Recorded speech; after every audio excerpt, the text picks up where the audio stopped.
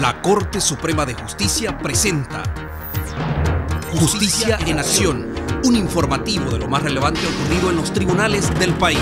El acontecer judicial del jueves 25 de marzo del 2021. Iniciamos el juzgado sexto de instrucción de San Salvador denegó a la defensa del expresidente de la Asamblea Legislativa, Cifrido Reyes, la solicitud de una audiencia de revisión de medidas. Por lo tanto, se mantiene la orden de detención. La defensa pidió al juez que realizara una audiencia de revisión de medidas para anular la orden y cambiarlo por medidas sustitutivas. Sin embargo, a criterio del juzgado, no ha cambiado las condiciones para dicha revisión y por ende mantuvo la orden de detención, lo cual ya ha sido notificado a las partes. El juzgado tercero de instrucción de San Salvador dará a conocer mañana la resolución de la audiencia preliminar contra el exministro de Seguridad, Mario René Figueroa, y su esposa, Cecilia Alvarenga de Figueroa, a quienes se les atribuye el delito de lavado de dinero y de activos. Según la acusación, Figueroa no pudo justificar un incremento patrimonial de 3.700.000 dólares, obtenidos desde el 2004 hasta el 2015, mientras que su esposa no pudo justificar 500.000 dólares. Parte de este dinero que se les atribuye lo movilizaban en el sistema financiero utilizando dos sociedades donde ellos eran los únicos accionistas. Figueroa habría recibido dinero de parte de la Sociedad Radiodifusión de El Salvador, trasladando así el dinero de casa presidencial.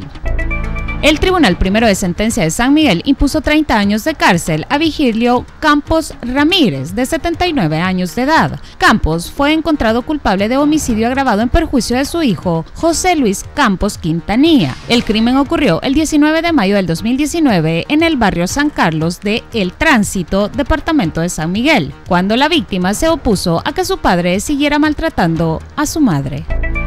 En el Juzgado de Paz de Olocuilta, Departamento de La Paz, será presentado el requerimiento contra el director del Cuerpo de Agentes Metropolitanos de Olocuilta y otras cinco personas. Se trata de Luciano Jesús Ramírez Campos, de 45 años de edad, quien fue acusado por el delito de violación en menor e incapaz en modalidad continuada. Los otros procesados por trata de personas son Rubén Alvarado, Julieta Maricruz Alvarado, Dilcia Lorena Moreno y Carlos Justino Ramírez.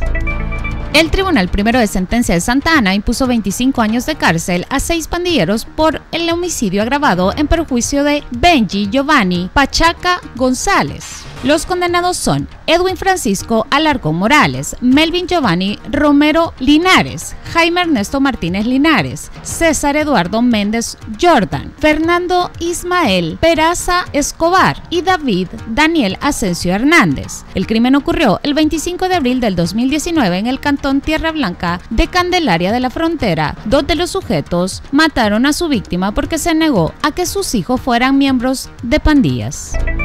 Al juzgado de paz de San Juan Opico fue remitido el soldado Tomás Antonio Pérez Reynosa, acusado de violación en perjuicio de una mujer soldado. El hecho ocurrió dentro del cuartel del batallón de artillería de la Fuerza Armada, en San Juan Opico. Ambos soldados custodiaban una zona aislada del cuartel, lo cual fue aprovechado por Pérez para violar a su compañera.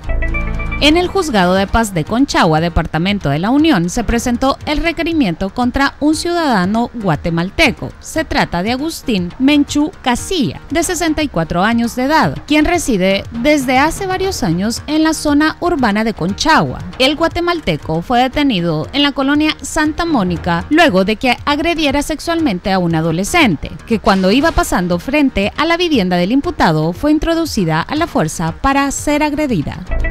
En el juzgado de paz de San Rafael Cedros, departamento de Cuscatlán, fue presentada la acusación contra Dolores Elizabeth Peña, de 32 años, por el delito de homicidio culposo en perjuicio de María Anita Valladares, de 62. La mujer, en estado de ebriedad y sin poseer licencia de conducir, manejaba un vehículo con el cual arrolló a Valladares, hecho ocurrido en el cantón Giboa de San Rafael Cedros. La mujer fue detenida por su estado de embriaguez y carecer de licencia pese a que se quedó en el lugar del accidente. De esta forma concluimos con las noticias más importantes en los tribunales, a través de su espacio Justicia en Acción.